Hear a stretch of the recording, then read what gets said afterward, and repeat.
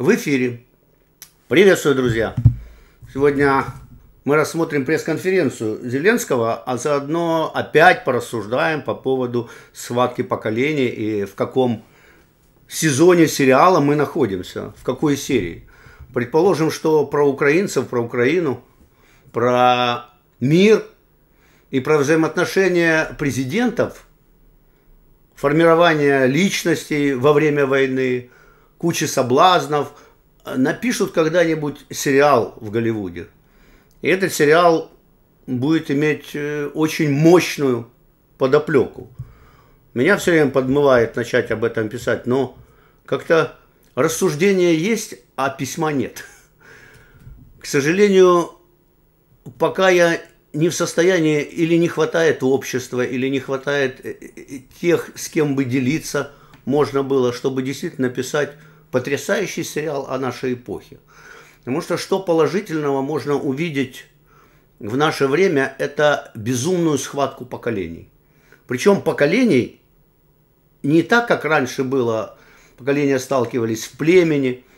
Мы сегодня об этом поговорим, как происходят революции в племенах. Потому что первые социальные революции, первые потрясения и свержения диктаторов или тиранов – племен происходило именно в племени, именно в племени. И поэтому мы можем вывести такие признаки того, что будет э, смещение, смещение диктаторов, смещение тиранов. Кто может выйти против тирана?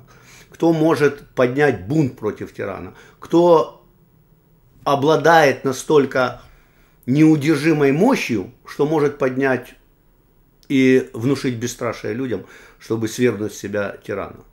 Это интересные выводы, которые сделаны социальными психологами. Мы сейчас даже, нам и у Фрома можно это читать, и у Фрейда можно читать, у, у Московича, у, у бесконечного количества людей, которые исследовали все социальные революции.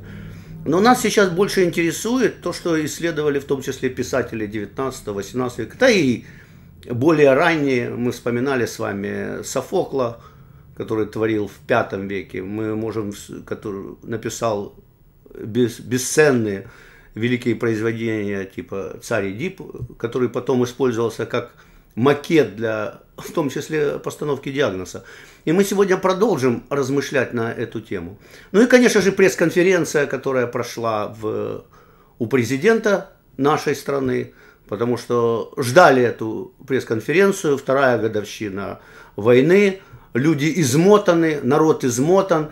И вот э, Зеленский являет себя народу. И должен сказать, что пресс-конференция в целом, если смотреть на ее, как она выглядела, как она была поставлена, то можно сказать, что за эти пять лет, что Зеленский у власти, его пресс-конференции стали на порядке лучше. То есть в какой-то степени когда-то и я давал рекомендации, э, когда еще самоназначился советником Зеленского, после чего меня начали еще больше преследовать. В общем-то, эти пресс-конференции э, великолепны и постановочны. Более того, Зеленский на них выходит готовый и подготовленный. То есть у него есть план, которому он придерживается как актер – но иногда есть отступления. Вот эти отступления, в общем-то, и портят э, впечатление о всей конференции, потому что именно их вытаскивает оппозиция и начинает э, размышлять о том, а что он, собственно, имел в виду, и, и что нам ожидать от э, такого человека, находящегося у власти. И, конечно же, мы должны все это смотреть в контексте взаимоотношений, прежде всего, первых лиц государств, потому что у нас есть первое лицо государства, это Байден – и назовем его так Байден дедушка, потому что его почтенный возраст и год рождения, 1942 год, говорит о том, что он входит в американское э, общество того времени, когда Америка стала или начала становиться великой. То есть до где-то 41 года, пока Америка не вступила в войну, в общем-то она особо не вооружалась, то есть оружие было, все было, но до нападения на Пёрл-Харбор они, в общем-то, не сильно вооружались. Но когда японцы напали, то мы знаем, что не только Америка объявила войну, но Германия объявила войну Америке, и начиналась эта гонка вооружений. Гонка вооружений, которая, в конце концов, привела к победам и прежде всего американцев, американского оружия, американских инженеров, американской экономики, потому что воевала экономика. Фактически американская экономика снабжала и Советский Союз ленд-лизом, и европейские страны, и когда Америка вошла в Европу, в принципе, она как по паркету уже отбомбила и э, стала основным выгодополучательницей войны. Она получила не только людей из Европы, она получила технологии, она получила инженеров. Она, короче, началась эпоха такого невероятного подъема. Где-то с 42 года, как раз год рождения Байдена. То есть мы можем сказать, что Байден это дитя очень успешного американского поколения, которое не только успешно вошло в войну, но и продолжило этот путь мы знаем это, ну так, визуализировать этот путь можно по фильму «Крестный отец», там, где развитие мафии как раз происходит в эти годы. И мы видим, какие машины уже были в Америке в 50-е годы, и как развивалась американская экономика. И, в общем-то, она стала флагманом благополучия для Европы для... и даже Советского Союза. И Советский Союз в какой-то степени копировал. Второй наш персонаж – это, конечно же, Путин. А Путин вот как раз родился в 1953 году. 53 год – это год э, смерти Сталина. То есть фактически Советский Союз в этот год перешел в депрессивное состояние. Потому что начались безумные разоблачения, начались разочарования. А, а, с другой стороны, начали людей из ГУЛАГов отпускать, но мы знаем, как был развенчан культ личности Сталина. И все это пришлось на первые годы Путина.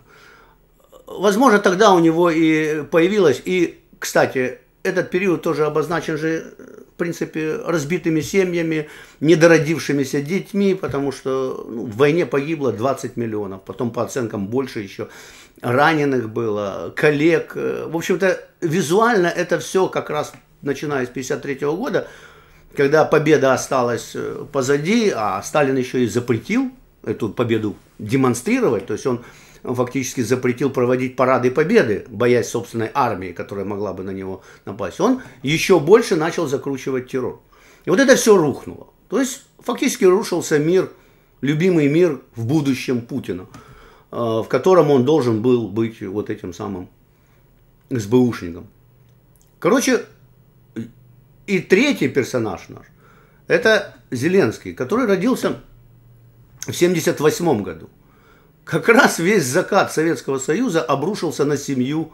А мы рассматриваем именно семьи, в каком состоянии были семьи в первые годы жизни э, наших персонажей. Дедушки Байдена, первые семь лет жизни в семье прошли, состоятельной семьи, в которой в семье чувствовалась победа.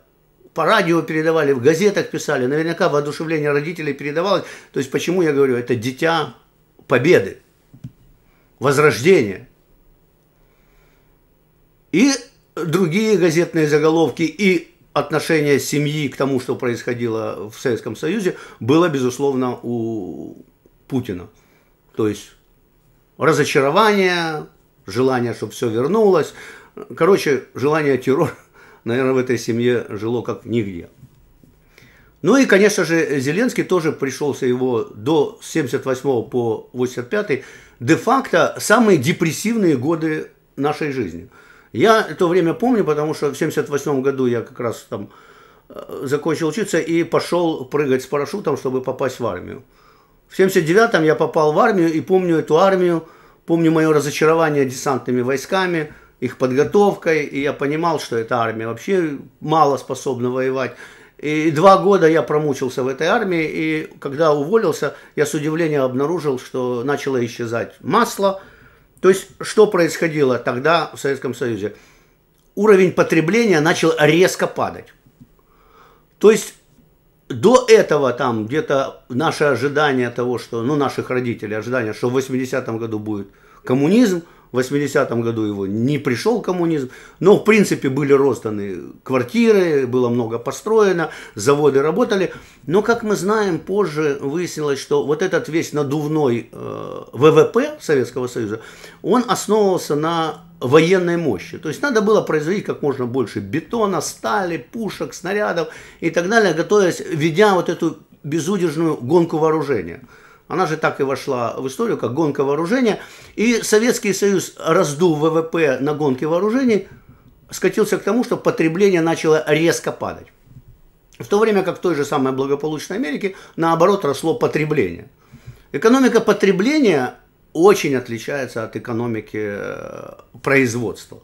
И если для экономики производства требуются чиновники и управление централизованное финансов, но в то же самое время государство может принять решение производить не то, что надо людям. То есть, условно говоря, оно может отказаться от производства трусов, штанов и э, вкусной еды, а сосредоточиться на процессе производства стали, бетона и тонна материала. В общем-то, мы, когда Советский Союз заканчивался, мы не слушали все время Брежнева с его э, речью о том, сколько удоев, сколько на полках всего, но визуально мы видели, что потребление падает. Вот когда я уволился с армии э, в 1981 году, обнаружил, что а, масло начало исчезать. И это Днепр, который Днепропетровск, который был закрытым городом и с повышенным снабжением на то время. И именно в Днепре была сосредоточена львиная доля Средмаша, включая крупный завод, который был всем заказчиком и подарил нам второго президента Кучму, завод Южмаш. То есть это такая военное, военное, военное производство.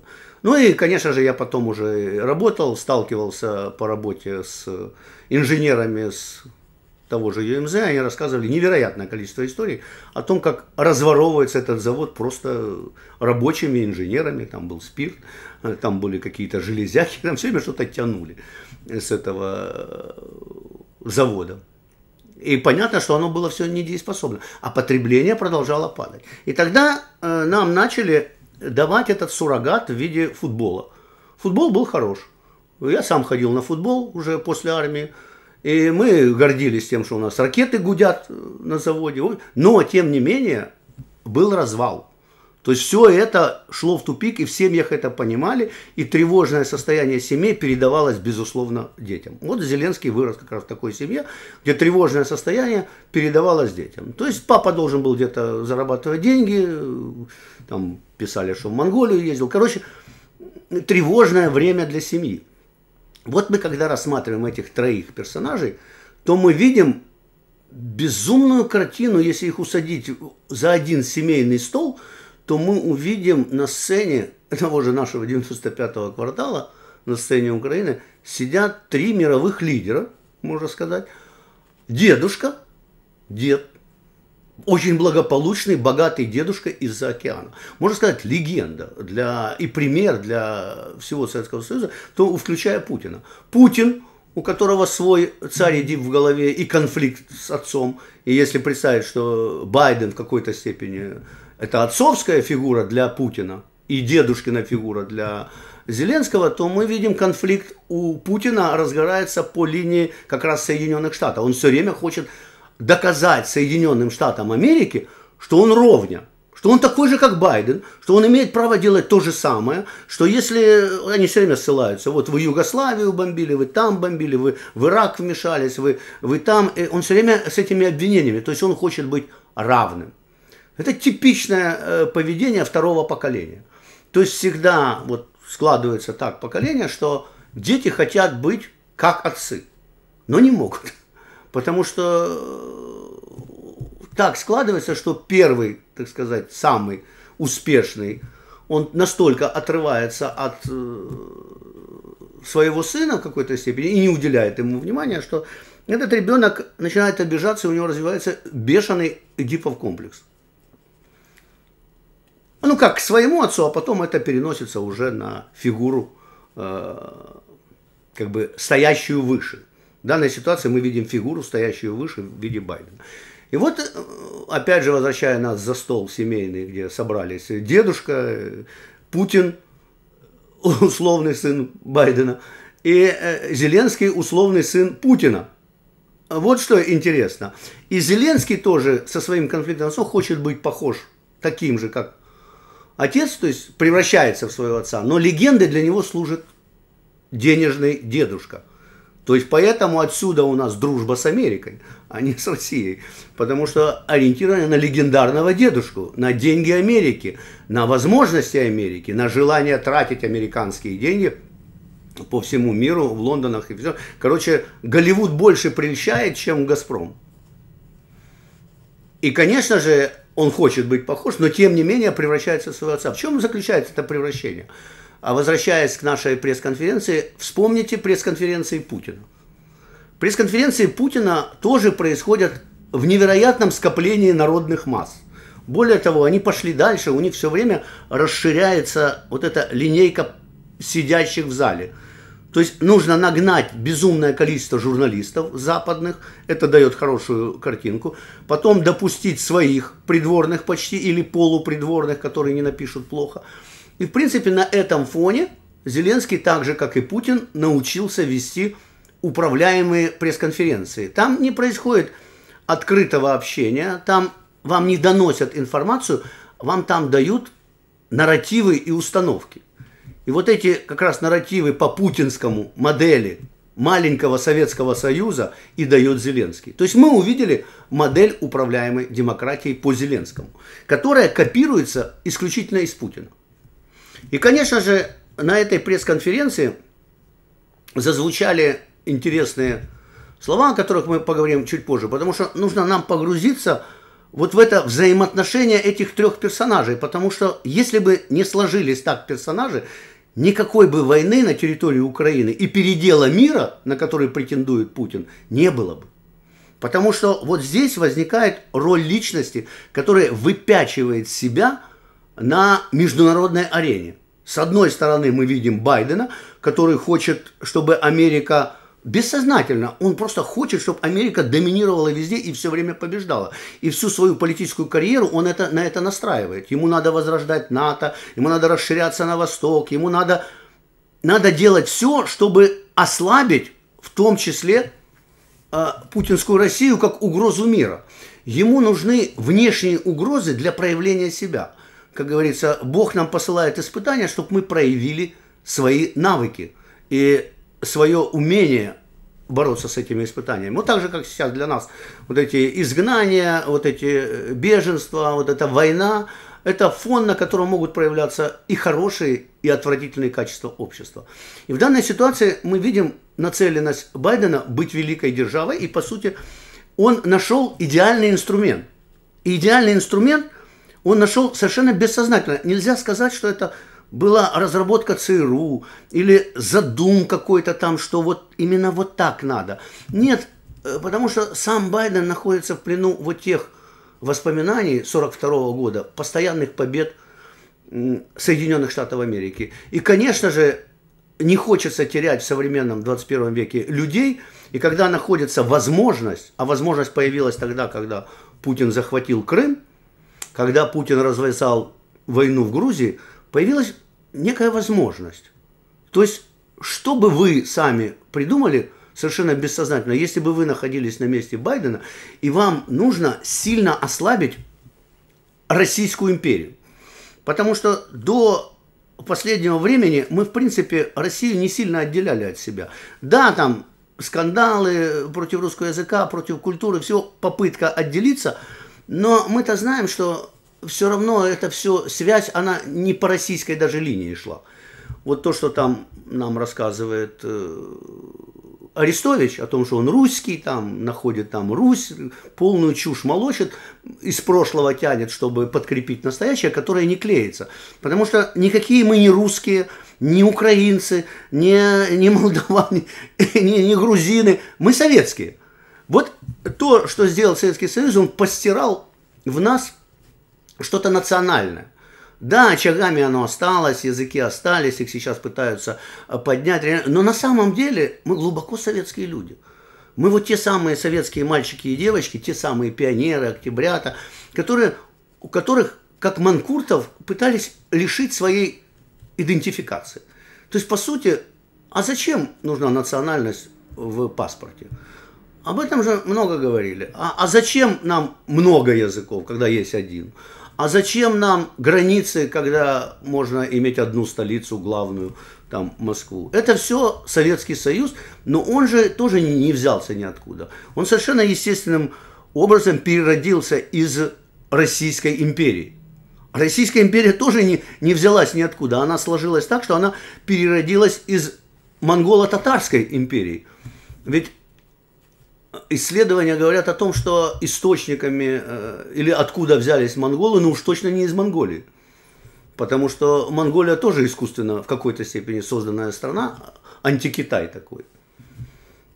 И э, если рассматривать территорию, только территорию, без привязки ко всему остальному, территории Советского Союза, он абсолютно совпадает практически с территорией монголо-татарской орды. Еще раз повторю, монголы и Монголия никакого отношения к монголо-татарам не имеют. А вот татары имеют. Татары, которые прекрасно распространялись э, с нашей территории, вот, они как раз вот, у них было и Казанское царство, и Крымское ханство, и много вот этих всевозможных центров, в которых они развивались. По сути, Российская империя попросту взяла и разгромила их, и присоединила, и столица стала в той самой Москве. Вот наследник Орды. И этот наследник Орды потом превратился в Российскую империю, потому что надо было опять же расширяться, надо было идти на Европу, а на Европу идти нельзя, не одевшись, как при Петре Первом, в европейские одеяния. Нельзя было это делать, потому что технологии нужны были, нужно было выпускать корабли, нужно было заходить в Балтию, нужно было приближаться к северным народам, в общем-то, что при помощи новой столицы Россия и проделала, Петербург. Вот а на каком фоне? И, конечно, Советский Союз наследник, безусловно, этой самой Орды через российскую. И на сегодняшний день мы просто видим распад империи. И рассматривать войну в Украине, если мы будем с точки зрения распада империи, которая, еще раз повторю, я много раз об этом говорил, родилась в 1945 году. То есть с победой было на Ялтинской конференции признаны границы Советского Союза. Более того, расширенные границы еще и с подвассальными государствами Варшавского договора. Более того, с некоторыми государствами у Советского Союза был заключен пакт о неприсоединении ни к какому блоку, внеблоковый пакт. Австрия, Финляндия, там Швеция, все это были страны, которые никуда не присоединялись, а в других странах стояли танки в том числе и в границах того самого ФРГ, ГДР. Так вот, вот этот распад Советского Союза как раз и приходится на поколение уже Зеленского, маленького Зеленского, и Путина уже в более зрелом возрасте. И попытка спасти это у Путина спала все время. И, конечно же, Байден бессознательно увидел эту возможность. То есть нужно поссорить папу и внучика, чем, в общем-то, успешно занимаются живые богатые дедушки. Они, в принципе, всегда настраивают внучика против э, папочки. И они очень здорово отманипулировали этой ситуацией. То есть фактически идет контролируемая война на территории Украины, которой не дают угаснуть, не дают прекратиться. И, в принципе, происходит, если мы вдумаемся, а что же происходит на самом деле – разоружение. Гонка разоружений происходит. Потому что в этот момент, пока мы здесь ведем передачу, будет выстрелено невероятное количество снарядов в воздух, по полям, по лугам, там какие-то невероятные цифры приводятся, количество э, разрушенных домов. Более того, идет санитаризация территории. То есть санитаризация в том плане, что они просто города разрушают, стирают. Как монголо-татарская орда, она тоже выжигала целые поселения, чтобы никто из крестоносцев с новым технологией не мог до них добраться. Вот этим сейчас занимается Путин. А Байден, и одна из причин, почему нам не дают сразу все оружие, их на самом деле не одна причина, а парочку причин. Первая причина – это то, что выгодно на сегодняшний день и Европе, и Америке, чтобы этот военный конфликт продолжался. Поэтому мира нам близко не видно, потому что идет гонка разоружений. Путин медленно, уверенно разоружается, теряет имущество, теряет э, рынки сбыта. Да чего еще лучше придумать для дедушки Байдена можно? Можно сказать, что успех Америки заключается в том, что он руками жителей Советского Союза, советских людей, убивает советских людей. И Украина, втянутую в эту войну, постоянно подпитываясь вооружением и помощью, в том числе из Европы и из Америки, в принципе, тоже разоружается. в какой-то степени, или даже перевооружается и перенастраивается на европейские рынки и полностью обрезает рынки монголо-татарского княжения. Вот что происходит на самом деле. Вот эта схватка невероятное поколение, которое, если это писать в сериале и показывать замыслы этих людей, то мы как раз и увидим этот конфликт поколений. А дальше мы должны задаться вопросом, а, собственно, если бы не Зеленский был во главе государства, это бы произошло, и я должен констатировать факт. А вы знаете, что если бы был Порошенко, то войны бы, наверное, не было. Потому что у Порошенко не было конфликта с отцом. Он с отцом прожил душа в душу аж до его смерти. Они вместе бизнес вели, они не ругались. Его отец был доминантой. Поэтому сам Порошенко, он всегда под фигуру отца подлащивается, он под него как бы подкладывается. И он в великолепных отношениях со всеми э, руководителями других стран. Он всегда с днем рождения поздравит, он всегда ручку пожмет. Он, он такой хороший мальчик. Вот все время был. И с Путиным он также общался. В принципе, идя все время на уступки, но выворачивая все время свой какой-то нарратив в дальнюю, ожидая, что, ну, время решает вопрос. Мир и время. Потому что вот когда на вот этой пресс-конференции был вопрос журналиста с «Украинской правды», очень интересный для меня вопрос, и он как раз мне прояснил вот этот взгляд – психологически на эту ситуацию. Мы все время говорили, что у Путина и у Зеленского обостренный конфликт. Обостренный конфликт двух не шибко, как выясняется, грамотных людей. Людей, на которых свалились невероятная власть и сокровища. И они с этим плохо справляются, потому что когда на вас сваливается такое, ваш мозг начинает руководить всем – Потому что вы все хотите контролировать. И желание контролировать все привело Путина к управляемой демократии, диктатуре и даже убийству таких э, людей, как Навальный, и посадке всех своих людей. И это будет все время расширяться, потому что с возрастом репрессий будет э, в России все больше и больше. И у Зеленского такой же конфликт и страх, что отец ворвется в дом и что-то сделает, и он этого боится, и единственное, что он может, это устраивать истерики. И вот на этой пресс-конференции как раз звучит такой вопрос. Господин президент, вы во время встречи в Париже, там, где была Меркель и все остальные, у вас кроме общей встречи была же и личная встреча с Путиным. Была личная встреча, оказывается, и сейчас вот я впервые об этом услышал, что они, оказывается, долго беседовали при закрытых дверях. Что они друг другу говорили, это останется за этими дверями. Но на вопрос журналиста Зеленский не ответил толком. Он, он сослался на то, что он не помнит. А я думаю, что он помнит каждое слово. Он помнит тон, с которым разговаривал с ним Путин.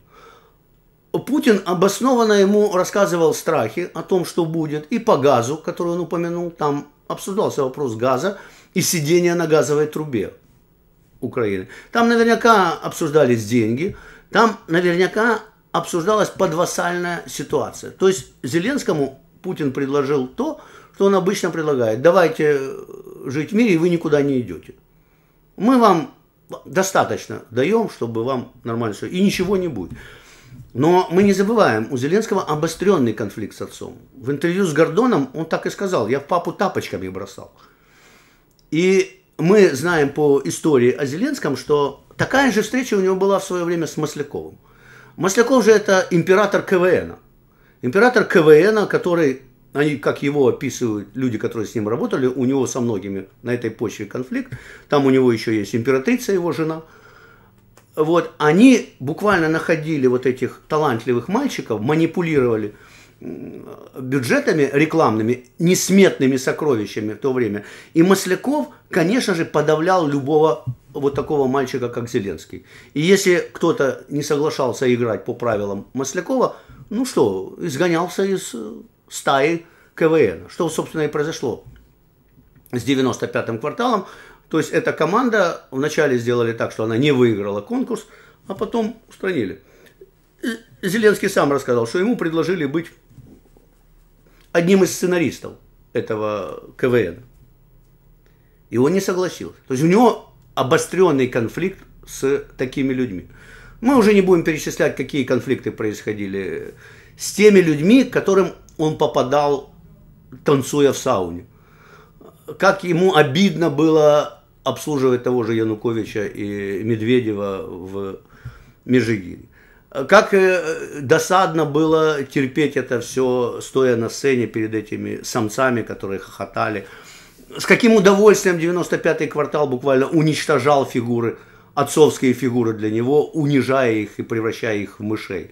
Ну, вспомним тупого Кличко, сделанного буквально в, на сцене 95-го. Мы вспомним других, того же Порошенко, которого размазали на стадионе. То есть это все в удовольствие. Вот такое же удовольствие, к сожалению, проявилось и в, тогда в Париже при встрече с Путиным. Их разговор закончился наверняка на обидах друг другу и на безумном конфликте. И с, с этой встречи, судя по всему, Путин вышел с устойчивой задачей уничтожить Зеленского, потому что договориться, он понял, с ним не удастся. А Зеленский вышел с устойчивой наглой ухмыл, ухмылкой, что а мы с Соединенными Штатами Америки и Европой, и нам ничего не грозит. Идеальный конфликт отцов и детей.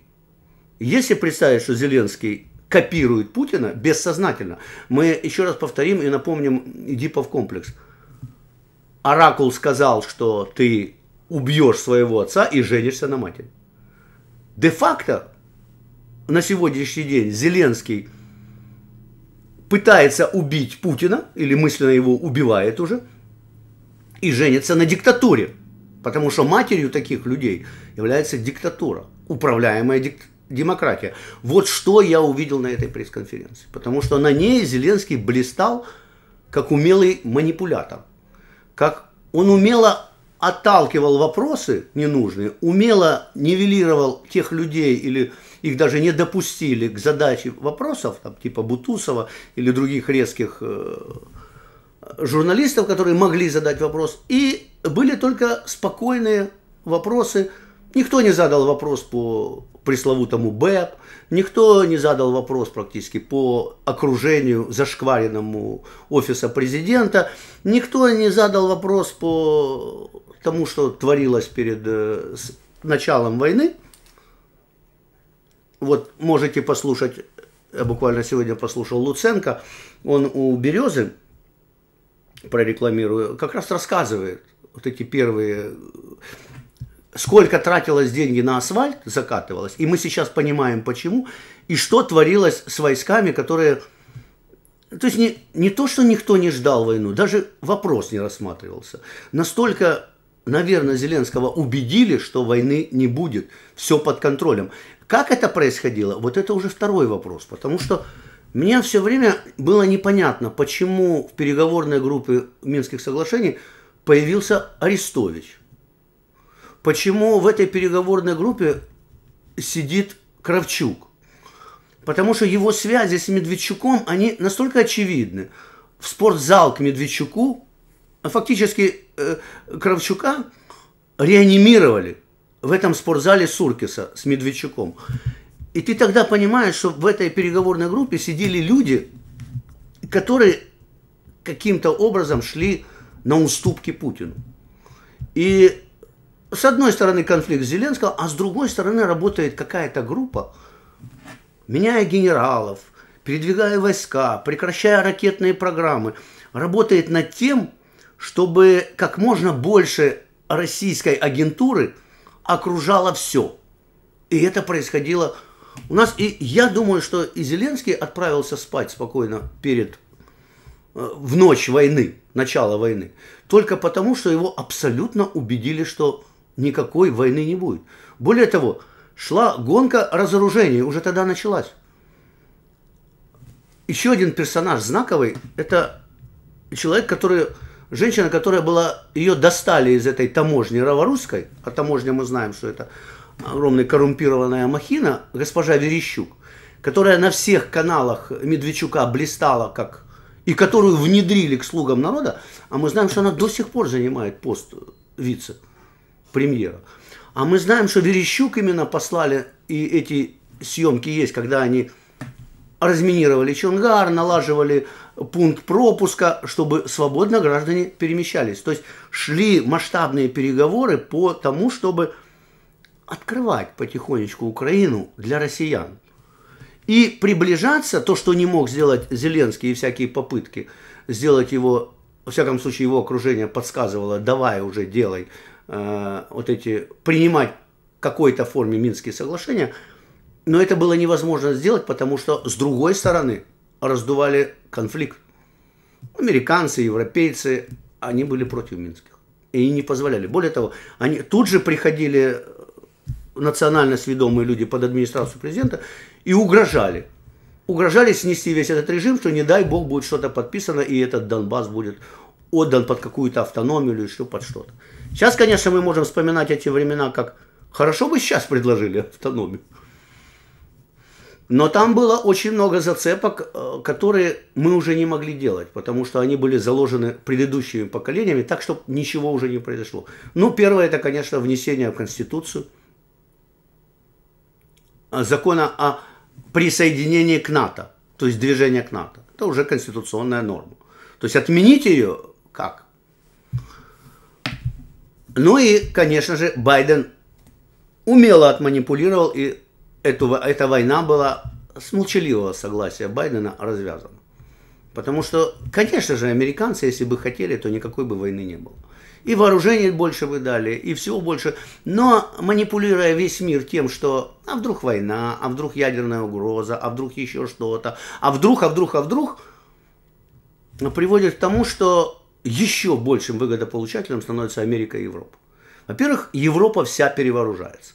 Уже, по-моему, бюджет э, НАТО начал зашкаливать за 370 миллиардов.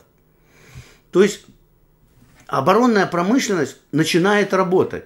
Германия просыпается в том плане, что Путин постоянно с Медведевым угрожает какой-то ядерной катастрофой и нападением на страны НАТО.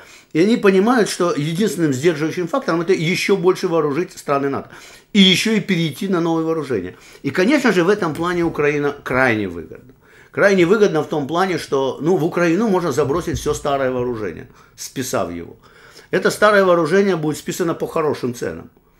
А вместо старого вооружения, на склады прибудет поколение, новое поколение вооружений. Отдаст там та Дания и Нидерланды или кто там э, самолеты F-16, получат F-35. Отдадут там устаревшие какие-то Хаймерсы, получат новые. Отдадут какие-то э, замороженные танки еще советского периода, получат новые. И так далее, и так далее. Плюс это все наслаивается на переход на новые вооружения – а новые вооружения это вот те самые дроны, и можно рассматривать Украину, нашу родную Украину, как чистый полигон для выработки защиты мира и защиты государств от нападения варваров монголо-татарской или Китая, или Ирана, или России, то, с кем, в общем-то, и дружит на сегодняшний день Путин. Или Ким Чен Ира, который вечно угрожает своим соседям. Но мы видим, что Почему Северная Корея не нападает на Южную Корею? Ну, наверное, потому что Южная Корея все-таки вооружена посильнее. Наверное, потому что Южная Корея наладила так экономику корпоративную, что ВВП у них зашкаливает, туда уходит к 40-50 э, тысячам долларов на душу населения. И лучшие образцы танков на сегодняшний день – это Южная Корея. И мы видим, что мир Запада он идет именно таким путем. И, конечно, здесь используются вот эти вот конфликты. Поэтому э, я уверен, что если бы не было такого острого и дипового комплекса между Зеленским и Путиным, они как бы единокровные. Вот как точно отец и сын. Потому что я еще раз говорю, что предсказание оракула, а мы это начали обсуждать уже давно, как Зеленский потихонечку превращается в диктатора не, не потому, что даже что лично он склонен, что он такой талантливый, что он что-то организует. Общество Советского Союза, почему я говорю, что мы советские люди, мы склонны лечь под хана, монголо-татарского хана. И будет эта фамилия этого хана Путин, Сталин или Ленин или э, Зеленский, это не важно. или даже Саакашвили, но склонность, хотя вот грузины показали, что они могут скидывать диктатора. И вот эта пресс-конференция и показала, что мы семимильными шагами движемся к диктатуре. И вот это меня пугает, потому что когда ты смотришь на вот этих шесть эффективных менеджеров, а я напомню, что после увольнения Богдана, первого, так сказать, главу администрации, который тоже занялся беспределом, но каким-то умеренным беспределом, с приходом Ермака начали привлекаться исключительно люди антимайдана. И я об этом уже рассказывал, что на самом деле сейчас мощно выстраивается партия Майдана против антимайдана. Все майдановцы отстранены от власти. На сегодняшний день они все в оппозиции, э, сидят мирно по норам, у них есть в какой-то степени общий представитель, тот же Порошенко, и флагман в виде Залужного. И этот Майдан потихонечку начинает просыпаться, потому что все чаще звучат откровенные вызовы. Ну, не может пока Зеленский всех арестовать, не может всем закрыть рот. К этому надо еще подойти, для этого надо иметь причины. И, кстати, на этой пресс-конференции эти причины были озвучены.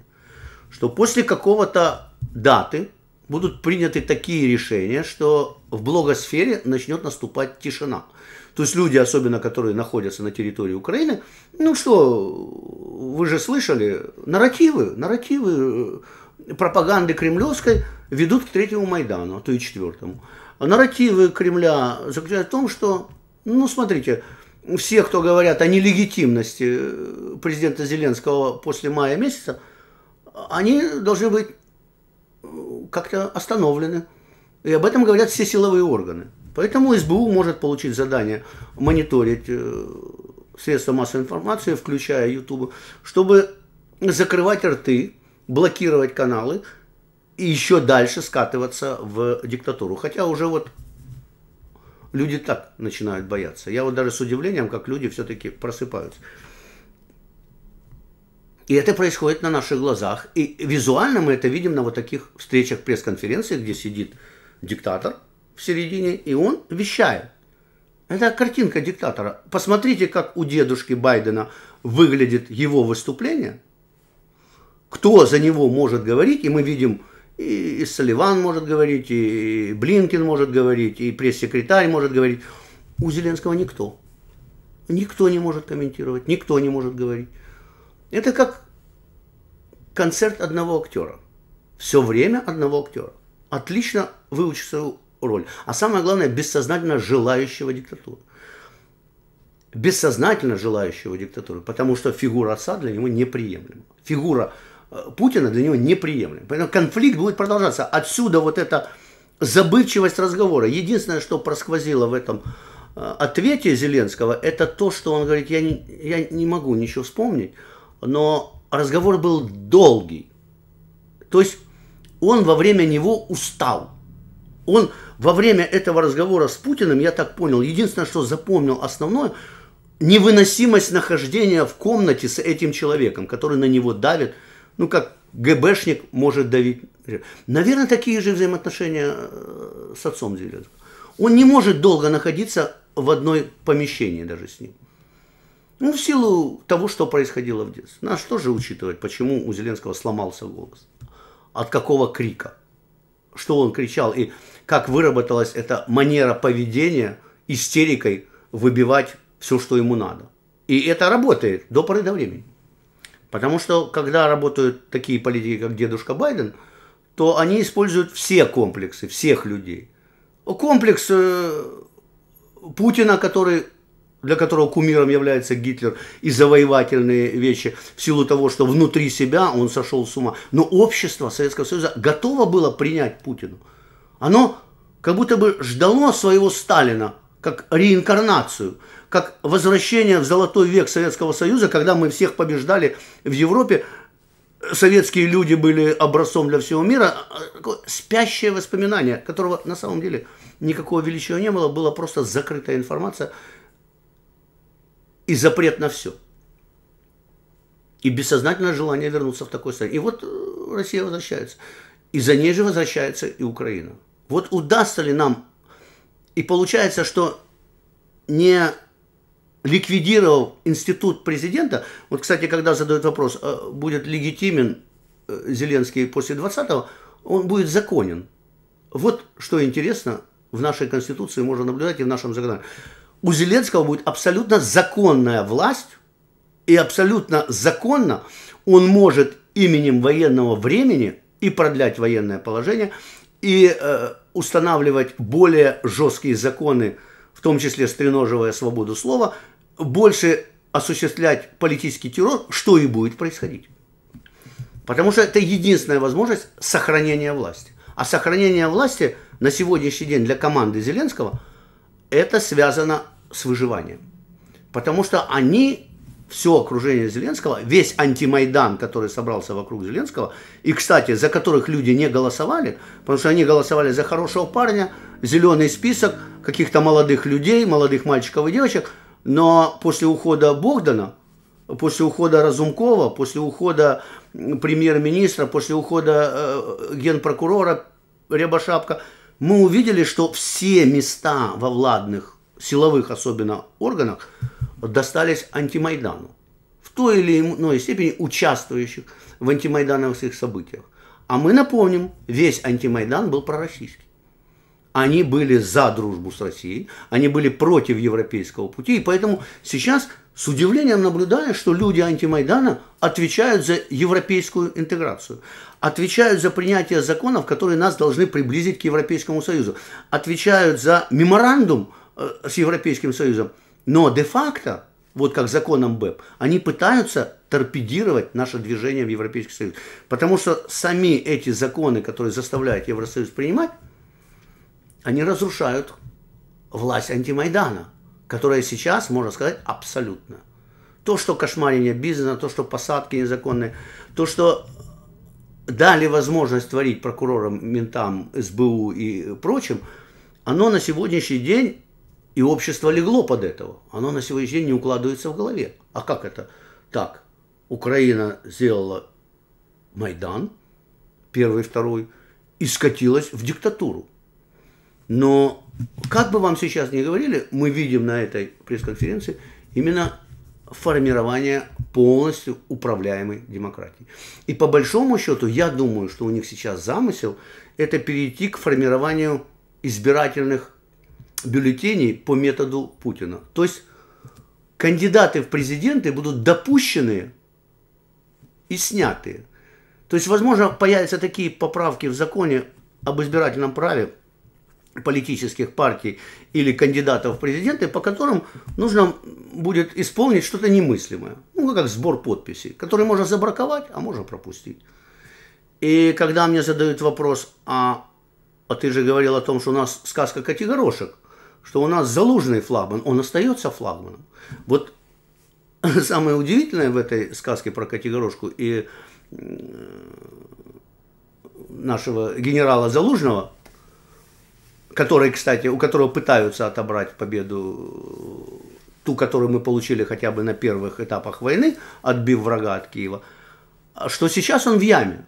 Он сейчас в политическом яме, именно по сказке, там, где его эти самые эффективные менеджеры, побратимы, оставили, отобрав у него власть, отобрав у него деньги, отобрав у него возможность что-либо делать, но мы знаем, что зреет как раз вот в этой яме, которую они его оставили, и зреет настоящий характер политика. И как бы там не молчал э, Залужный, он на сегодняшний день даже имеет некую охранную грамоту. И самое удивительное, что у нас же как бы в нашей душе всегда есть дуализм. С одной стороны мы делаем подлость, а с другой стороны мы должны продемонстрировать, что мы хорошие. И Зеленский наткнулся на это же самое. То есть он сделал со своей командой и долго на нее решался подлость, ну, фактически похоронив карьеру Залужного за то, что он генерал-победитель и только за это и больше ни за что, он ему тут же через неделю, там, через два дня вручает звание Героя Украины. А теперь представьте себе, что если он захочет устранить э, Залужного, ему надо, ну, то, что должны придумать уголовные дела, которые уже существуют на Залужного, Но еще надо приписать ему что-то такое, чтобы его арестовать. Потому что его надо забрать. А как вы арестуете героя войны, кандидата от Майдана, нового, а, человека, которого поддерживает политические силы всех, кого вы изгнали, да еще и героя Украины. Ну, тюрьма раздвинется. Там в самой тюрьме бунты начнутся, потому что у Залужного на сегодняшний день и в тюрьме есть поклонники, и среди руководства тюрьмы, и в прокуратуре наверняка генерально есть поклонники. Да что там говорить, обычные люди все видели и все знают. И замылить это невозможно. И поэтому Зеленский делал это, фактически выдавая бессознательно индульгенцию или охранную грамоту Залужному. Поэтому он сейчас в этой своей яме – где готовится политический процесс, а политический процесс не начнется до отмены военного положения. А военное положение начнется до тех пор, пока Зеленский не заговорит с Путиным. А он не заговорит с Путиным, потому что он сказал, что у Путина опять вот этот издевательский тон. У Путина нет мобилы. То есть все время принижение отцовской фигуры, которую ты копируешь по-любому, потому что ты создаешь в Украине маленький Советский Союз по методологии Путина. У него силовики все захватили, и у тебя силовики все захватили. Поэтому вот эта пресс-конференция так и выглядела. Как выступление начинающего. Мы, так скажем, еще не вполне оформившийся. Может, он и не успеет оформиться до конца, потому что для украинского народа вот это будет трагедия. Потому что как там война это очень трагическая вещь, и, и, и то, что вот все перебито, но что греет и меня, и, наверное, обычных граждан Украины, но мы по правильную сторону, мы же про, по европейскую сторону. Мы как бы, да, с кровью, но отделяемся от э, монголо-татарского ига, от Советского Союза, от империи российской, отрываемся, да, с кровью, но отрываемся в сторону Европы. А если война закончится и столько будет погибших, а мы не только не оторвемся, мы превратимся в такой маленький, крепкий, Советский Союз во главе с зелеными диктаторами. Вот где будет разочарование, где установят какой-то подушный налог, о котором начали говорить, где будут контролироваться банковские карточки, где будет, кстати, новые диктатуры, они ведь на чем строят свою диктатуру? И это опробовано в Венесуэле. В том, что они не закрывают границы.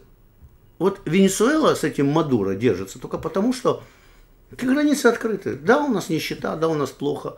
Да, мое правительство контролирует э, скважины, да, мы продаем. Нефть нам хватает раздавать бедным чуть-чуть. А остальное население, которое хочет работать, да едьте в соседние страны. Мне люди, современной диктатуре 21 века, на самом деле люди не нужны. Вот катастрофа э, Украины в том, что Зеленскому люди не нужны. Их можно утилизировать на фронте, особенно самых патриотичных и резких. А с другой стороны, если откроют границы, он прекрасно понимает, что люди уедут. И чем хуже здесь будет, тем больше уедет. Но если люди уезжают, у них есть возможность голосовать ногами, то есть они выбирают просто другую территорию, а не борьбу с диктатором, то, в общем-то, ничего не происходит. Именно это происходит в России. Обратите внимание, для россиян шлюзы открыты. Хочешь в Армению, хочешь в Турцию, хочешь э, в Грузию, хочешь в Европу, хочешь даже в Америку. Полу... Ну, сложность визы получить, сложность надо через шлюз Турции. Ну, Дубай открытый. Ну, самолеты работают. Никто никого не держит. Более того, такие диктаторы часто задумываются, и то, что начало звучать в параллельно, кстати, и в российском парламенте, где говорят, подождите, они уехали, а у них здесь недвижимость. Надо ее забирать. Если мы объявили его врагом народа, если он там осужден э, судом, то конфискация, все, все забирать. Поэтому э, люди начали чесать репу. Э, ну, раньше мы просто уехали, у нас что-то было, но тут у нас уже все забирают. Но и в Украине начали говорить о таком же. А чего бы карточки не заблокировать? А чего бы ухилян там э, не лишить их возможности лечиться, учиться, получать э, их детям – получать образование на территории Украины, которого, кстати, все равно нет. А То есть мы видим, что вот это все закладывается вот этим методами антимайдана. Ну, потому что люди, которые работали вокруг э, Януковича, это вот та молодая подлость, которую он дал возможность реализоваться, а сам э, отстранился, можно так сказать, от власти, вот оно-то и привело к тому, что это взорвалось. Потому что методы у этого поколения, методы беспредельщиков. То есть они научились пользоваться законом так, чтобы отбирать недвижимость, отбирать, отбирать все, что заработало предыдущее поколение. Правильным, неправильным методом это второстепенно. Важно, что идет отбор имущества, а заодно разрушение памятников. А заодно разрушение памяти всякой, а заодно искажение истории. И все это признаки того, что вот будет формироваться вот эта плеяда. И использовать они будут самых разнообразных людей для насаждения мифологии, вот руськости, там еще чего-то, чтобы, чтобы внутри страны нащупать это идеологическое дно, на которое они могут опереться. И потом это идеологическое дно маленького Советского Союза, де-факто вернувшись Советский Союз. И тогда мы оказываемся в опасности. Тогда война это не просто бессмысленно, она убийственно бессмысленна, потому что к ней добавится еще разочарование том, что а мы нифига и не построили. Мы потеряли все, какие достижения были. Вот сейчас мне там пишут иногда, Говорят, так вы сами на Майдане прыгали, вы к этому привели. Я Майдан не оцениваю в десятилетний период. Майдан мы можем оценивать его достижения через 28 лет. Майдан настолько сдвинул пласты в отношении Советского Союза и развернул Украину в сторону Европы, что катастрофа произошла уже внутри власти. Потому что та же власть, которая пришла с Майдана, это тоже советские люди. Что, Яценюк не советский мальчик, или Луценко не советский, или Кличко, который стоял на Майдане, не советский, или Порошенко не советский. Они все советские. И они, конечно же, когда ворвались в чертоги Януковича, Кучмы и предыдущих правителей, они там хорошо обосновались. Отлично. Отлично. Теперь это все будет служить нам. Теперь пусть судьи нам служат, пусть менты нам служат. Короче, защищают нам. Но они не учли одного – вы начали дискредитировать себя. И вот это вот самое, когда говорят, будет ли законен и легитимен Зеленский после майских или даже раньше, я должен сказать, что можно быть э, в законе, и он будет в законе. Он, безусловно, будет совершенно законный президент до передачи власти другому президенту после выборов, которые могут не произойти в ближайший там, год-два.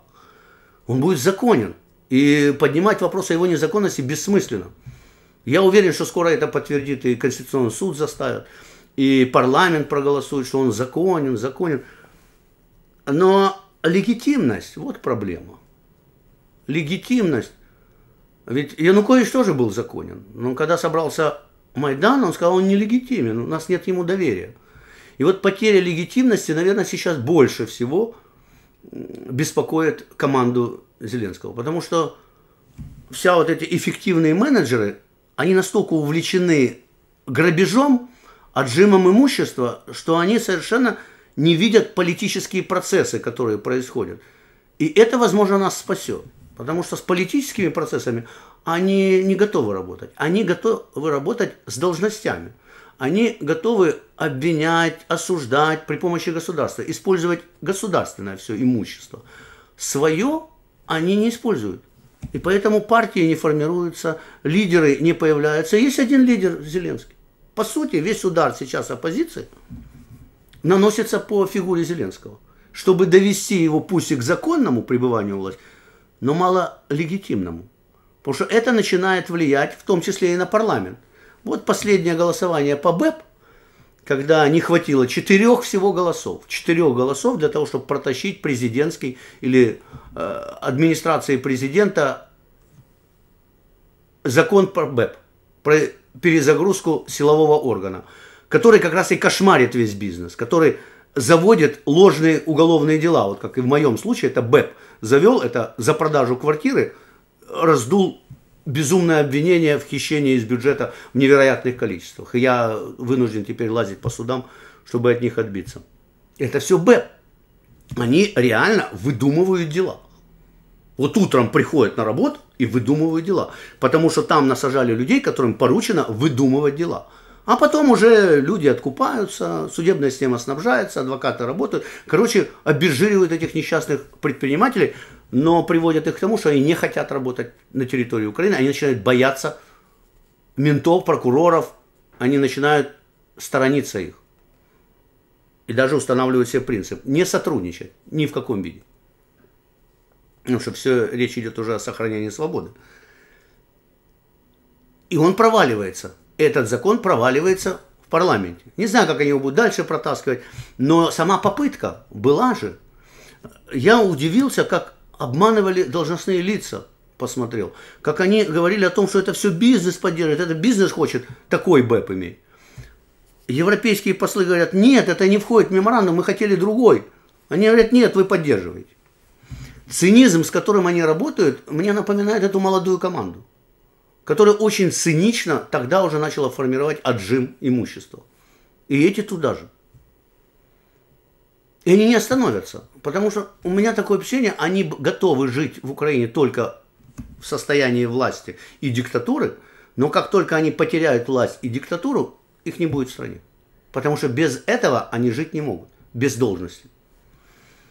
И Зеленский де-факто пока подыгрывает. Он заявил на прошлой еще пресс-конференции, что вот а я никого не уволю. А они все будут работать, потому что я президент. Вот это потому что я президент. Не потому что вы хотите или что-то. И, кстати, по Залужному, как он ответил, обратите внимание, он же так и сказал. Я президент, я увольняю кого хочу, когда хочу. Куда нас это заводит? Потому что вот тут мы должны понять, кто движущая сила новой революции. И почему рядом с Залужным появилась супруга почему Порошенко все время ходит с супругой.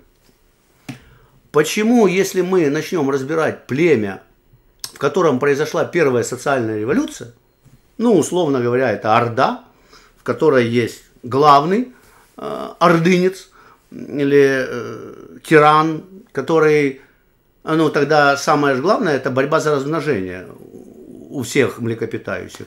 Питание, размножение и контроль территории. Три вещи, которые, в принципе, у человека присущи. И вы можете переносить э, человеческое общество из э, века в век, э, через тысячелетия, но вернувшись туда, первоначальное, так сказать, состояние первобытного племени, вы увидите очень ярко выраженные вот эти позиции. То есть есть вождь, тиран, который что делает? Взрослеющий или стареющий вождь. Он теряет хватку. Теряет хватку над кем? Над тем, кого должен кормить и обеспечить. Он уже слабее контролирует территорию, он уже слабее э, размножается или совсем прекращает размножаться. И кто первые недовольны? В принципе, все племя живет, ну, а слаб самец, ну и хорошо. Меньше нас будет загрызать. Держись от него на почтенном расстоянии, и, в принципе, все будет. Женщины. Женщины начинают сносить стареющего вождя. Потому что вот поэтому на знамени французской революции женщина с флагом, с голой грудью. Женщины, неудовлетворенные своим положением в обществе, начинают бастовать против тирана. И вот они именно, вот смотрите, в России как происходит, против Путина уже мужчинам вообще выходить опасно. Там сразу тюрьма и все. Женщины выходят, женщины военнослужащие. И у нас на Майдан могут выйти только женщины – потому что мужиков тянут куда-то. Женщина получает в этот период, и вот в троллейбусах, когда столкновение с ТЦК, женщины орут, вы мужиков у нас забирайте. Это то же самое, как в племени. Женщины вокруг вождя орут. А что ж ты нам не даешь с остальными, так сказать, размножаться? Природа, она же скоротечна, жизнь коротка, нам надо еще успеть это все сделать. Э, в Египте был гаремный заговор стареющего вождя, свергли как раз гаремным заговором. Даже с евнухами вошли в связь и продвинули своего. Поэтому вот именно женщины и будут катаклизмом. Не случайно, не знаю, понимают они или это разработка ЦРУ, но смотрите, на кого поменяли в Грузии. Тихановская, женщина. Сейчас Навального убили Э, главным оппозиционером становится Юлия Навальная. У нас Залужный все время с женщиной рядом, у нас женщины начинают бастовать. В принципе, сейчас акцент на то, что женщины антидиктаторы. Же, э, во французской революции первыми вышли бастовать и требовать хлеба женщины. Толпами шли. Здесь вскрывается то, что с женщинами нельзя сделать. Ну, природно мужчина не может бить женщину. Ну, тот же мент, он теряется. Когда надо бить мужика, тут все понятно. В рог дал, и все хорошо. Ногой с носока ударил, все нормально. А вот женщину как бить? И это уже следующий уровень тирании, когда могут бить детей и женщин. И именно до этого дошел Янукович, когда, в принципе, избивали, и главный тезис был начала Майдана второго, это детей побыло. Девчаток и хлопчики. Вот так звучал лозунг. И это всех взбеленило и взбесило, и все побежали на Майдан. Кто помнит эти чувства, когда по телевизору показали именно это. Истинное лицо власти. Когда они перешли вот рубеж. А кто перешел рубеж этот? Перешел именно окружение Януковича. Молодая поросль, которая сейчас в администрации президента сидит. Они перейдут. Они рано или поздно начнут колбасить этих женщин. Я вот тут девушка выходила на Майдан, бастовала, и она потом пошла, ее окружила с десяток полицейских. Она это все сняла. А, смелая девушка. Я же говорю, что женщины могут себе позволить, мужики не позволят. Их арестуют. А женщины могут. И вот они будут движущей силой. Они выйдут, скорее всего, за нормального залужного. Они выйдут, скорее всего, за, в защиту своих мужчин. И созреет это там, где их обидят. А их обижают уже. Вот Зеленский озвучил цифру интересную. 31 тысяча погибших. И начали все задаваться вопросом, а почему такие разные цифры? А, там Нью-Йорк Таймс одну цифру говорит, а россияне другую цифру. Но мы с вами можем насчет этой цифры порассуждать. Да? 31 тысяча. С другой стороны, я начал думать, а откуда взялась эта цифра? А я вам скажу, она взялась из головы Зеленского. Потому что Fox News, когда Зеленский давал интервью, кстати, должен нас с вами поздравить, потому что я понял, что в администрации президента нас смотрят. Помните, я в позапрошлом, по-моему, интервью сказал, что а Зеленскому надо с Карлсоном встретиться, но встретиться на фоне разбитого жилого дома. Они, конечно, ухватили эту мысль, но не допоняли глубину. И Зеленский не Карлсона приглашать, а надо было Карлсона приглашать, на, а не Fox News. Ну, побоялся. И надо было вот это высаживаться не на искусственном фоне каких-то кирпичиков, какого-то блиндажа, что типа печка горит газовая, ну, знаете, такое, стилистический блиндаж для художественного фильма. Возможно, они где-то художественный фильм как бы сняли. Ну, там взрывы где-то встречаются. То есть, как сцена организована. Нет, надо было живую. А у нас много разрушенных домов. Там надо было сесть, обеспечить безопасность и там разговаривать. Это было бы по-другому бы впечатляло мир. Вот живая девятиэтажка обычно и разбитый подъезд. У нас таких домов сгоревших много. Так вот, это они услышали у нас и организовали так. Так вот, на том интервью Зеленский сказал, что ну, у россиян погибло где-то 180 тысяч. Опять же, это из статьи, которую напечатали Нью-Йорк Таймс. И, но в этом же интервью он сказал, что ну, а у нас мы бьем один к пяти. То есть на одного погибшего украинца пять россиян.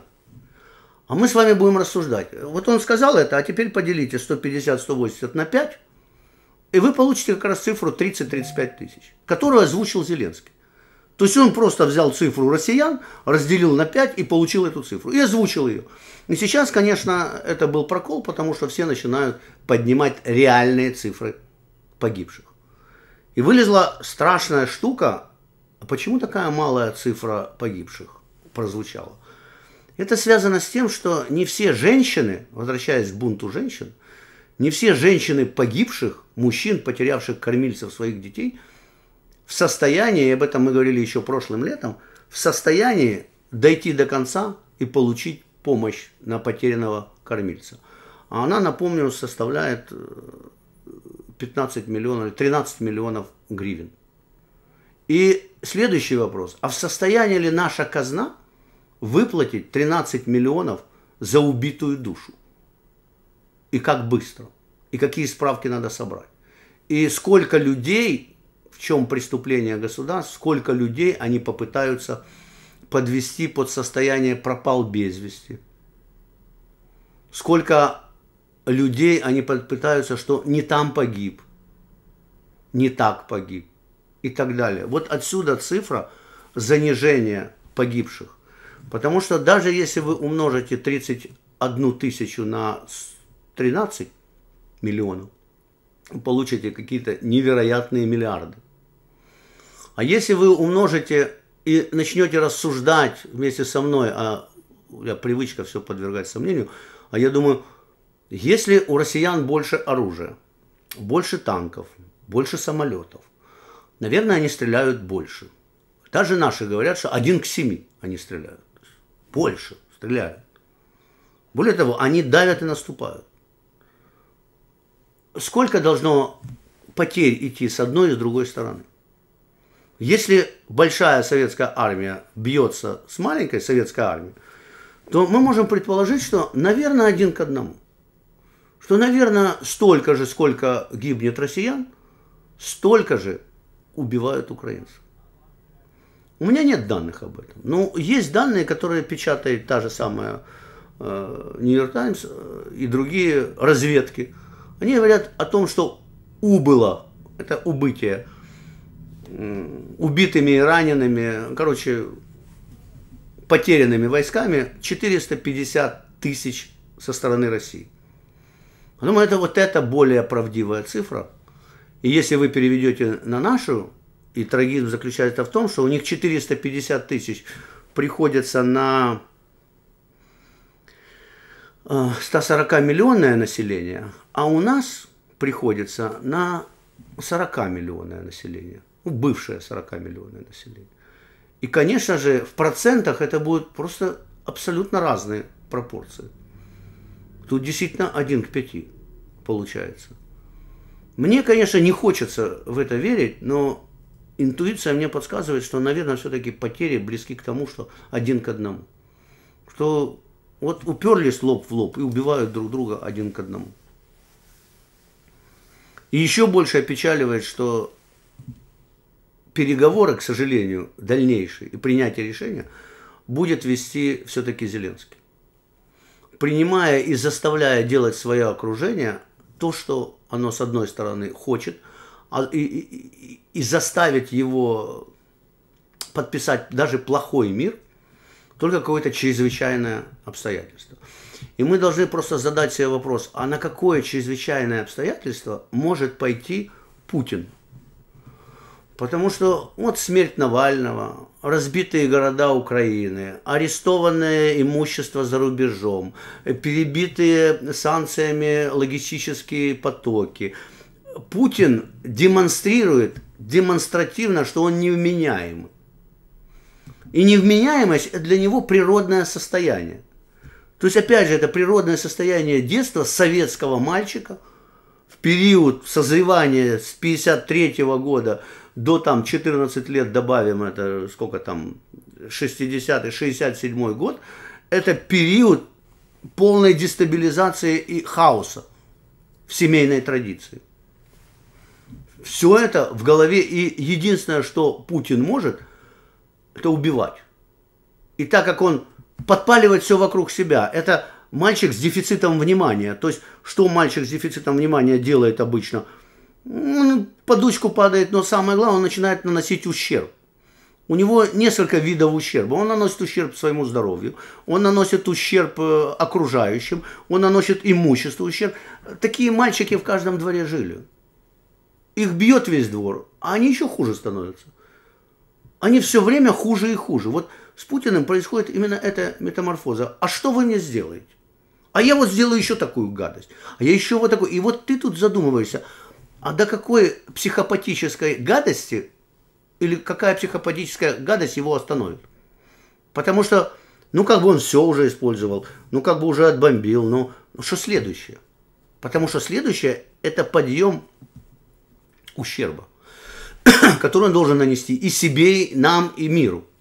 И здесь, опять же, на первый план выходит, нет, не то ядерное оружие, которое херячит, а то ядерное оружие, которое тактическое. То есть шандарахнуть ядерным оружием по окопам, вот это да. Или шандарахнуть там, где скопление войск, вот это да. И э, я представил себе, а что мир скажет, если он тактическое ядерное оружие применит? А мир проявит озабоченность, он еще больше будет вооружаться, он еще больше придет, но вмешается в конфликт в Украине или нет? И я, с сожалением, говорю, нет, не вмешается, даже при применении. Хотя угрозы есть, что мы, мы, куда? Потому что все равно стратегия Байдена и, я так понимаю, американского истеблишмента, и неважно, это придет Трамп или кто, это все равно дождаться, когда сдохнет диктатор такого типа чтобы зашло новое поколение. Они же терпеливо ждали, когда Брежнев скончался.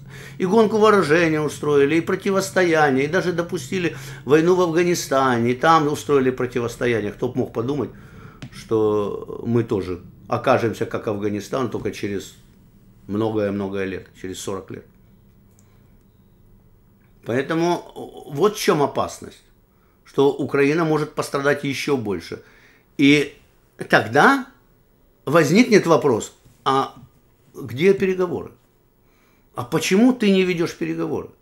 И получается, что Эдипов комплекс Зеленского заставляет его изнутри, из его бессознательного, протестуя против Путина и его агрессии, не принимать разумные решения.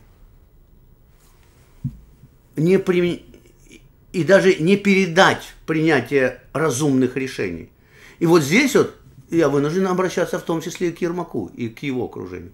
А вы реально ждете, когда шандарахнут или что-то произойдет? Или все-таки вы попытаетесь повести в нормальное русло? Вот, может быть, там люди с меньшим эдиповым комплексом сидят. Может быть, там люди, которые хотят сохранить себя в будущем, а самое главное, удержать ситуацию и не погубить больше людей. Потому что вот то, что назрело в Украине, это передача власти в правительству. Это возвращение парламентских полномочий, чтобы парламент перестал быть подвассальным. Это возвращение к демократическим нормам. Но вот эта пресс-конференция, и вот эта пресс-конференция, она говорит о том, что насколько же... Вот я смотрел лица молодых людей, которые задают вопросы. Журналисток, журналистов, не западных о наших, раболепие.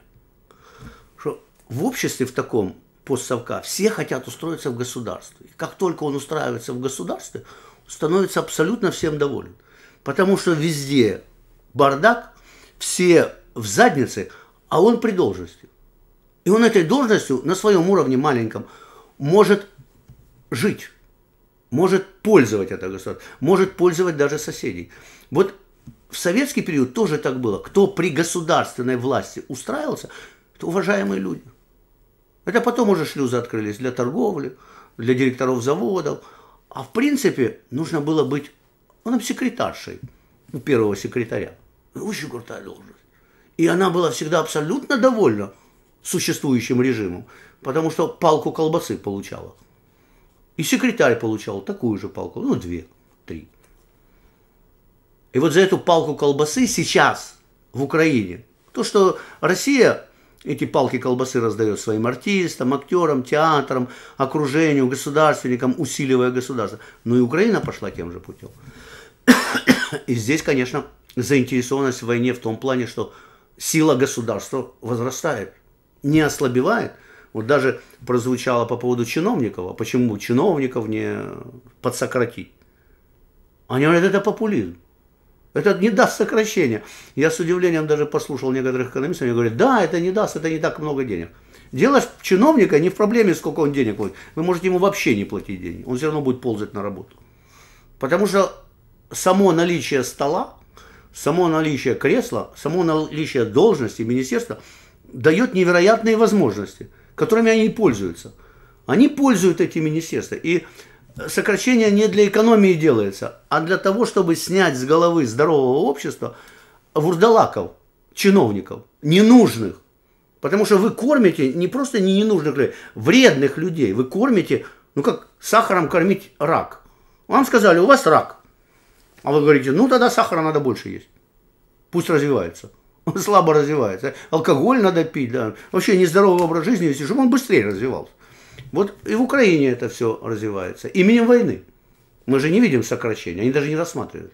А вот порабощение, это раковая опухоль, которая закрывает все возможное шевеление в стране, оно продолжается.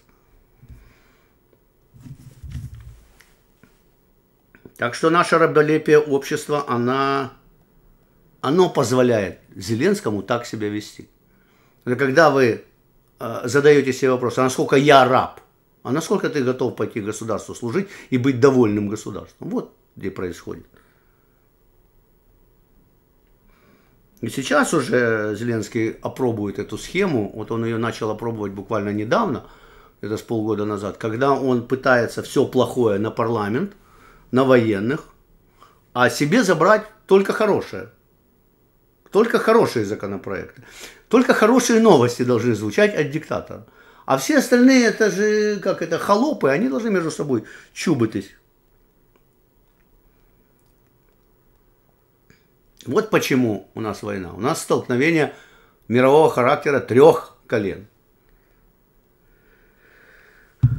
И вот еще что одно прозвучало. Когда нам или вам будут говорить о том, что оно, что Россия, мол, идет семимильными шагами вверх, потому что у них ВВП выросло, у них действительно ВВП выросло, но и в Украине ВВП выросло, вы удивитесь.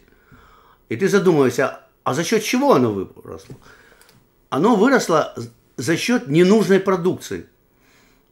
Перестройка на военные рельсы, как и Советский Союз, оно стратегически доведет до того, что у вас будет оружие, а экономики трусов не будет.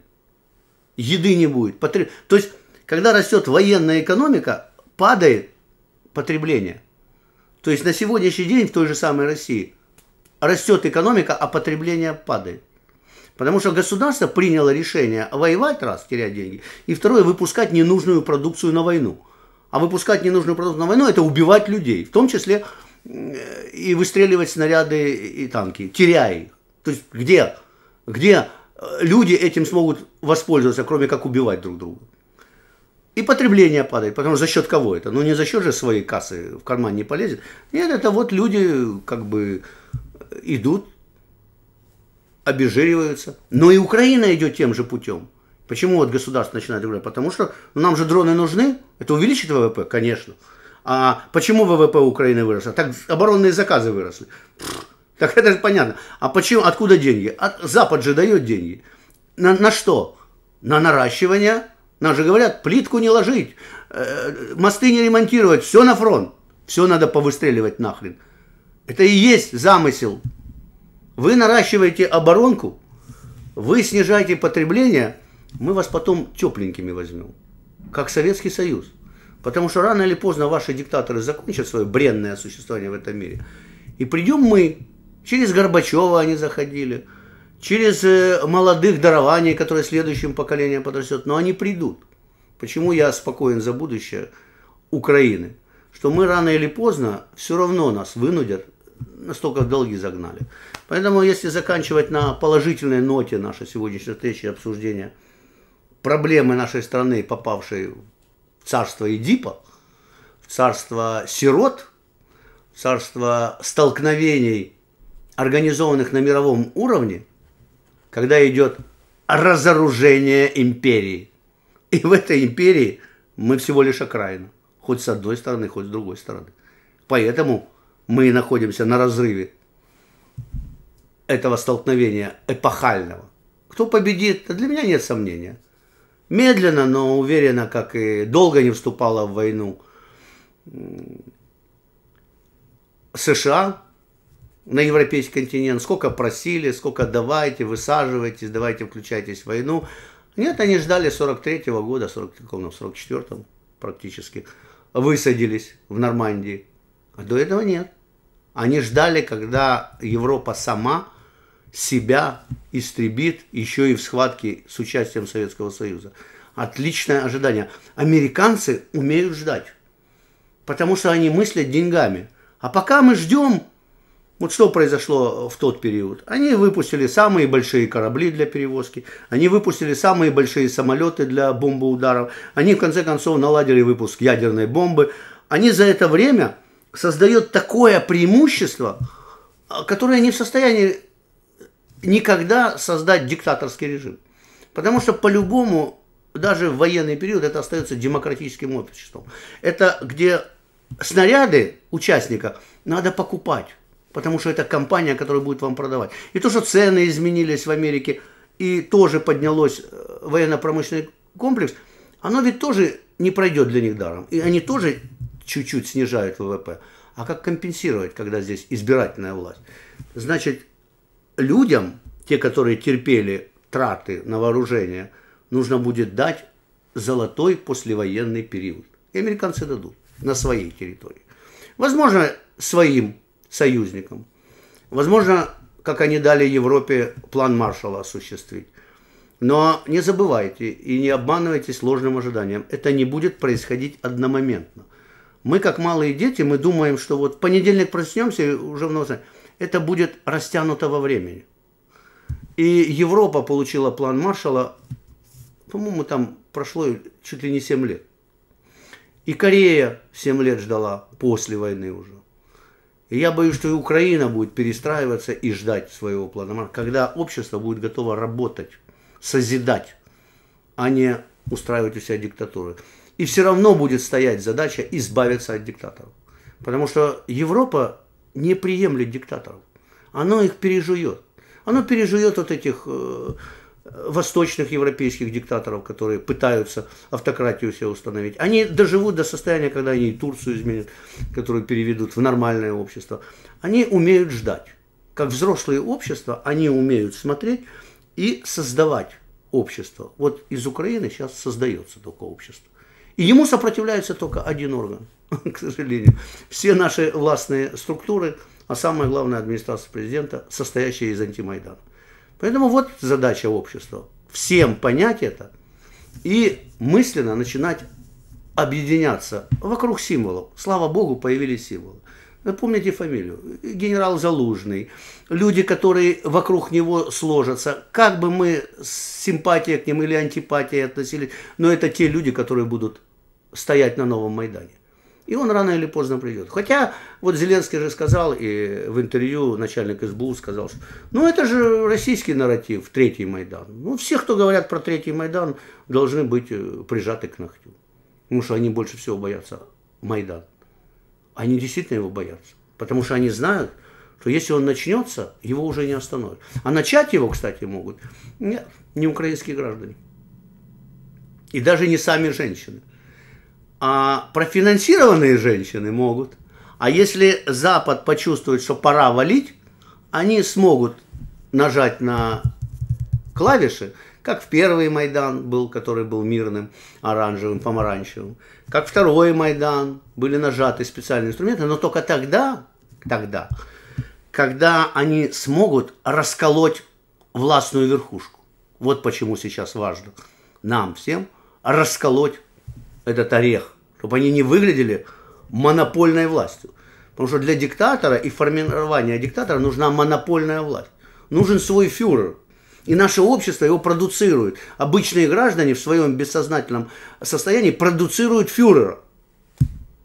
Неважно, кого они на это место поставят. Я говорю, что нас могли бы, наверное, и за собаку голосовать. Вот надо убивать дракона в голове. Вот как убить дракона, он говорит, вот оно в голове ни в коем случае не допускать в себе мысль, что ради положительных результатов, ради сплочения страны можно поступить со свободой. Вот это и есть порочная мысль. И вот тот самый э, стокгольмский синдром, который возникает у человека, любовь к своему мучителю. Очень хорошо исследует. Как Сталина любили, как мучителя. Чем больше убивал, тем больше любили. Потому что вопрос любви возникает при диктаторском режиме, когда надо сохранить себя, свою семью, вопрос выживания. А чтобы выживать, надо ближе к диктатору, государству. И чтобы на вас государство не нападало, вы должны его любить. Вы должны всецело его любить. Вот так выстраивается российское общество, так выстраивается белорусское общество. Те, кто любят государство, у них все хорошо. Те, кто за свободу, идите нафиг, вы нам не нужны. Поэтому держаться принципом общества и перевоспитывать себя, особенно внушать своим детям, новому подрастающему поколению, ни в коем случае не свалились в оправдание любых диктаторских законов. Потому что это именно приведет к еще большему горю. Я уже сказал какому. Мы можем победить и остаться совком. Потому что совок нам всадят в голове власть имущие. Вот тот самый антимайдан, который сейчас окружил Зеленского обманом, не обманом, не знаю, как они его контролируют, но удивительное засилие этих людей в администрации Зеленского и на всех э, силовых органах говорит о том, что у них что-то есть против Зеленского, и что он боится их трогать. И вот как он будет выкручиваться из этого состояния, я не знаю. Но мы в опасности диктатуры. Зарабатываем свободу. Кличко еще раз дает, что там. Давайте я почитаю вопросы, если интересно. Я уже долго. А крім дрою лікування земних населення не потрібно, чи краще брухтівка, людський ресурс безценный. Да. Геннадий, как думаете, когда переговоры? Я же сказал, что стоит э, на пути переговоров комплексы. Вот этот комплекс ненависти к неуправляемому ребенку, который, которого надо наказать у Путина, и он хочет наказать э, Зеленского, в его словах все время звучит, э, самое главное отстранить политическое руководство. То есть это убрать Зеленского. За что? За то, что вот э, тогда в Париже и вообще пошел непокорно. Потому что сама избирательная кампания Зеленского была, в принципе, мягкая по отношению к России, там, просто прекратить стрелять, какая разница, на каком языке говорить, это все лилось э, от 95-го квартала. Но потом, а мы знаем, что Путин все время говорит о том, и он считает, что его предали. Он целую страну объявляет предателем Украину, он ее президента предателем, он историю э, объявляет предательской по отношению к России. И мы знаем, что он убивает предателей. То есть, когда у вас столько сил, он пытается их убить.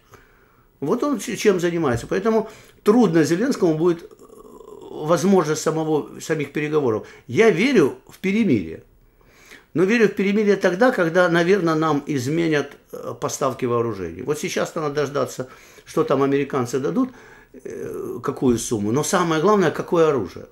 Потому что если американцы дадут правильные ракеты – правильные и раньше истребители. Но опять же, если это игра Байдена, а она для него как для победителя, и они умеют ждать, и у них есть свои личные интересы, потому что здесь своя борьба за власть идет, и более важная, потому что это Олимп богов, и этот Олимп богов заставляет Байдена биться за срок, за второй срок э, президентства. И, соответственно, заключение перемирия, мне кажется, где-то у них намечено, возможно, на май.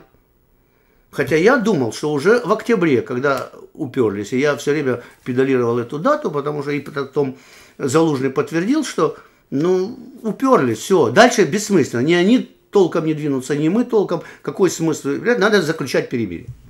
И переводить это в дипломатическую плоскость. И для Байдена это важно будет остановить эту войну, тогда его администрация будет иметь возможность, особенно если это будет через силовое давление, что если они дадут э, Украине достаточно средств поражения дальнего действия, то, в принципе, логистику можно было бы выбить. Для меня некоторые вещи не укладываются в голове. Почему так мало хаймерсов? Почему дальность ограничена? Но потом, когда я начинаю себе объяснять эти вещи с рациональной точки зрения, отбросив эмоции – когда нам говорят, что а нам недостаточно дают оружие, недостаточно вооружения, а ты думаешь, а сколько нам дали? А нам же дали там за сотню миллиардов зашкаливать, так? А у нас армия до войны, она финансировалась в районе 4-5 миллиардов. Годовой бюджет был армии. И ты понимаешь, подожди, вот даже если я компанию открываю, да я не смогу вот сейчас, если бы мне дали 100 миллиардов, я не знаю, что с ними делать. Ну, там с десятком миллионов я еще разберусь, что сделать. Но с миллиардами я не готов. У меня должны быть финансисты, мне надо наладить эту всю логистическую цепочку, мне надо запустить все эти процессы. И я представляю себе трудности армии, когда говорят, да там, там бардак, там бардак, не вся армия там перешла на... Язык надо выучить, перейти на натовские стандарты. Все это ускорено еще в военном положении. И ты понимаешь, что они дают ровно столько, сколько мы в состоянии впитать. И не всегда общество в состоянии это взять. Я уже не говорю о том, что коррупция стоит на пути прохождения Еще и менять страну антикоррупционными органами. Короче, задач слишком много, чтобы дать много денег. Наверное, можно было дать все. Только мы бы все это потеряли. Кстати, в Афганистане дали много. Они, они имитировали, разворовывали деньги и имитировали, что создают полки и батальоны. И когда американские сказали, а, вы создали полки, вот и защищайтесь. И когда американцы вышли, а защищаться неким, потому что все это было на бумаге. Они это поняли, что их обманули, потому что это племена. Племена не в состоянии брать современное оружие и правильно использовать. То есть жить будущим. Сегодня на сегодня что-то украл, там что-то порешал, что-то побежал. А у нас же тоже страна, ну вы не сравниваете американцев и украинцев. Это невозможно. Советский Союз не надо сравнивать с Соединенными Штатами Америки. Это, уже говорил неоднократно, это как это называется, трудовой лагерь э, с усиленным питанием. Поэтому они другие. Они размышляют деньгами. И пока мы не перейдем на размышления деньгами, и для меня ответ очевиден. Вы не, не в состоянии взять современное оружие. Вот как с F-16. Ну, пока не отлетает положенные часы, никто не даст эту дорогостоящую машину стоимостью там 50-100 миллионов. Ну, кто вам даст ее? Поэтому подготовятся пилоты. Опять же, и все выгоднее и выгоднее для американцев. То есть затягивать конфликт, в принципе. Но выборы диктуют э, начать раньше. Поэтому на вопрос, когда я ожидаю переговоры, все-таки думаю, за 6 месяцев до выборов Белый дом должны будут все активно. И после выборов, это как раз будет период после выборов э, Путина, то есть он там устаканится. Я не думаю, что его объявят персоной нон-грата в плане, что признают нелегитимным. Нет, с кем-то надо будет разговаривать. Но ни Зеленский, ни Путин не будут садиться за стол переговоров и подписывать что-либо. Во-первых, Путин не согласится, потому что он его помножил на ноль. Во-вторых, Зеленский со своими обидами помножил Путина на ноль. И они будут в этом состоянии находиться, делая друг другу гадости, ну, возможно, другим путем кроме военного. А вот генералы вполне могут подписаться. Ну, так уже было. По-моему, не Порошенко подписывал э, первое перемирие, а подписывали генералы. И тогда мы говорили о том, что формируется новая граница, к сожалению. И сейчас формируется очень плохая граница. И здесь ответственность, конечно, правящего класса, правящей элиты, что А, допустили войну, Б, вовремя не остановились, В, думали не своей головой, а обещанием западных держав. Все-таки, мне кажется, можно было смягчить удар. Смягчить. На протяжении... То есть нельзя построить Царство Небесное на ненависти. Нельзя построить рай на земле на ненависти нас, украинцев, накачали ненависть. Вот совок для нас, который ненавидел весь мир, он был привычен. Мы нормально относились к бомбам. Мы гордились тем, что мы можем ударить по кому-нибудь. Это так вселилось в душу, что даже когда вы слабы, все равно хотите при случае кого-то долбануть, была бы сила. И что нас останавливает? Что может остановить беспредельщика? если мы выросли беспредельщиками, нас может остановить другой беспредельщик. И больше никто. То есть у нас не хватает здравого ума садиться и разговаривать и не допускать войны на своей территории. А еще хватает ума развязывать войны где-то далеко от своих территорий. Ну, то, что как раз хорошо делают взрослые общества. Американцы, французы. Они отвоевали. Количество конфликтов, которые происходили на территории Европы самое большое в мире на самом деле. Мы и так думаем, в исторический период короткий, мы думаем, что вот в Украине, нет, здесь не довоевали, я так скажу. Когда ты посмотришь на это за пару тысяч лет количество конфликтов, то ты увидишь, что Европа дралась за каждую улицу, за каждый дом. И они довоевались до того, что они поняли, воевать бессмысленно. Общество дозрело до того, довоевались. Украина пока не довоевалась. Россия еще тоже будет внутрь сворачиваться и воевать еще долго. Тоже не довоевалась. Почему? Потому что люди воюют за хорошие земли, за хорошие пространства, за горы, реки, за хороший климат, за умеренный климат, за доступ к морям. А дикие племена воюют за пустыню, за песок. Когда-то смотрел у Синкевича еще передачу про племя, которая очень свирепая, очень красивая, безумно красивые женщины и мужчины, но они настолько свирепые, что живут очень глубоко в пустыне и защищает их вот эта самая разожженная пустыня. То есть они настолько свирепые, ген свирепости, что они ушли далеко от человечества и никого не подпускают на свою территорию. Вот, то есть если вы свирепые, вы вынуждены жить в изоляции. И поэтому свирепость, наверное, монголо-татар передалась россиянам. И, в принципе, да и украинцам тоже, и белорусам. Если нас считать славянами, нам, нам где-то передалась эта свирепость, и мы не довоевали, не навоевались. Ну, дай бог, с этой войной мы довоюемся и уже не будем допускать будущего. Поэтому я жду, жду, надеюсь, верю.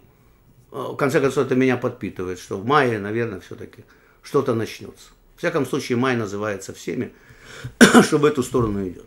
Меня больше беспокоит захват антимайданом головы президента. Вот это опасная штука. Потому что это может нас погрузить в десятилетия тоталитарного режима. Если, допустим, Зеленский захочет остаться на десятки лет, а общество не в состоянии сопротивляться.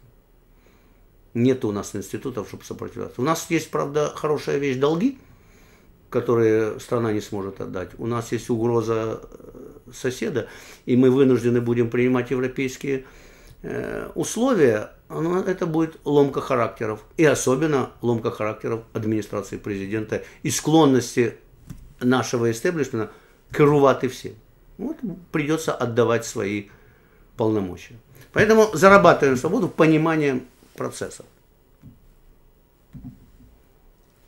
Opa!